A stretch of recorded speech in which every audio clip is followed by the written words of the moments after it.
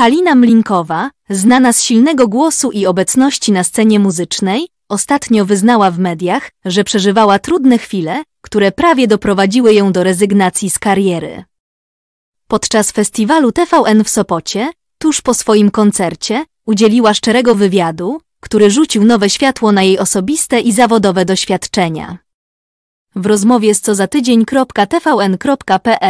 Mlinkowa opowiedziała o swojej walce z przemysłem muzycznym, który często popycha artystów do działań, z którymi nie do końca się identyfikują. Miałam kilka momentów, kiedy chciałam odejść w ogóle z tej branży.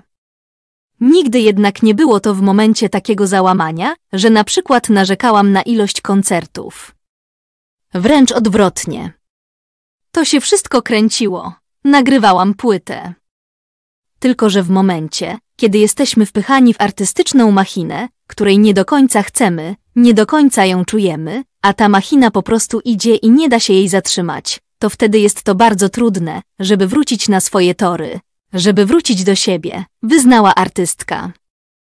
Jej słowa ukazują wewnętrzną walkę z presją branży muzycznej oraz potrzebę odnalezienia własnej ścieżki i tożsamości artystycznej. Wyznaniem linkowej może być odbierane jako przestroga dla innych w branży, podkreślające jak ważne jest, aby pozostać wiernym sobie, nawet w obliczu wielkich wyzwań. Halina Mlinkowa, mimo swojej obecności w branży muzycznej, która przynosi jej wiele satysfakcji, nie ukrywa również trudności, z jakimi się mierzy. Jednym z takich wyzwań było ciągłe zainteresowanie ze strony paparazzi, co ostatecznie doprowadziło do jej decyzji o przeprowadzce z Warszawy na jej obrzeża. Musiałam ten problem rozwiązać, wyprowadzając się z miasta. Nawet nie chodzi o to teraz, że z Warszawy, ale musiałam przenieść się na obrzeża, co rzeczywiście ułatwiło mi trochę życie, wyznała w rozmowie z co za tydzień.tvn.pl. Mlinkowa wspomina również czasy, kiedy media nie miały tak wielkiego wpływu na życie publiczne, co zmieniło się z nadejściem większej liczby gazet i rosnącą konkurencją.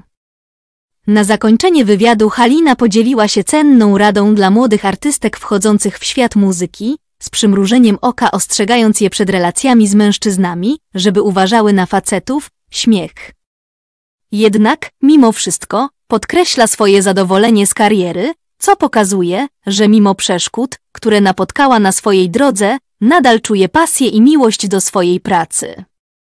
Te wypowiedzi rzucają światło na realia życia publicznego, z którymi muszą mierzyć się osoby znane, pokazując zarówno jego blaski, jak i cienie.